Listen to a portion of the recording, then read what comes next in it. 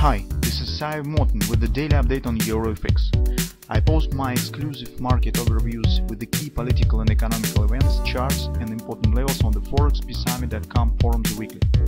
This short video is a response to rapidly changing situation on the currency markets and should help you to stay on top of the game and be profitable. I suggest you to visit forexpeacearmy.com forum and read my analysis for the week before watching this daily video. Welcome back everybody, let's update our view on the gold market. So, as I said in today's Forex video, it seems that market is changing the mind. So it's uh, seems some uh, kind of the, I don't know, evidence or just elevation is coming to the minds of the investors just because the recent reaction was really, it's a bit as irrational as, well, not not actually logical. And as today, as Peter Schiff has posted the tweet, tweets where he said that market behaves so like we have 2% inflation, soft landing, and common quantitative easing. And it's difficult to disagree. So whatever it is, maybe market just booking the profit before the non-farm payrolls release. But I think that for a profit booking, too sharp reversal here that we have on the gold. So anyway, whatever it is, it is perfectly fits to our trading plan long-term scenario.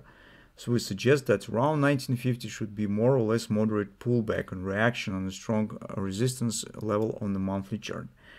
We were watching and waiting for patterns and we said we are not considering taking new shorts by far as trend as gold was holding the trend on the bullish side and um, we said we do not uh, take the long positions but at the same time we're waiting for patterns before taking the short position for those of you who would like to take the uh, to go against the major tendency and, and trying to catch the pullback here on the daily chart.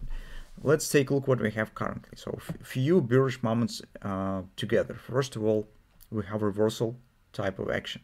So yesterday was a reversal session. Let's take a look. Market creates the new top and close below the lows of the previous session. This is important.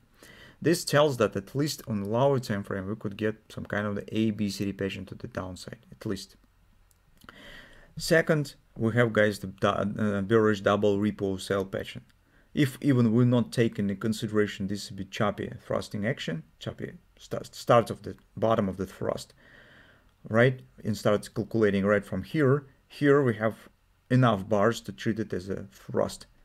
So it's actually, even if we do not take this one, it's 1, 2, 3, 4, 5, 6, 7, 8, 9, 10, and more close below the 3x3, close above the creating the new top, and close below.